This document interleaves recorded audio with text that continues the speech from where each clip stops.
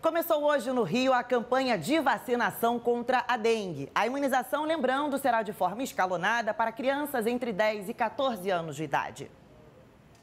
O sorriso no rosto do Bruno, de 10 anos, não nega a felicidade de ter sido um dos primeiros a tomar a vacina contra a dengue. Agora eu tô livrado, né? Agora se é, o mosquito não vai me picar e também se me picar também não vai fazer nenhum efeito. Sentimento de alívio, né?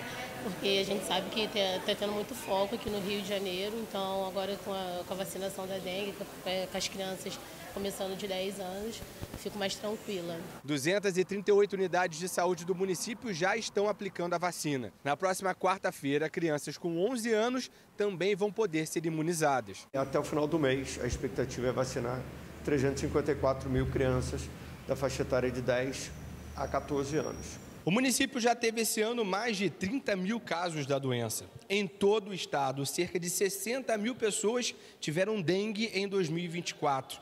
E essa preocupação cresce a cada dia, porque esse número de registros aumentando não é comum nessa época do ano. São muito preocupantes, o número de casos vem aumentando numa velocidade muito grande. A tendência é o número de casos ainda aumentar, lembrando que os meses de abril e maio são sempre os meses de maiores incidências na cidade do Rio de Janeiro.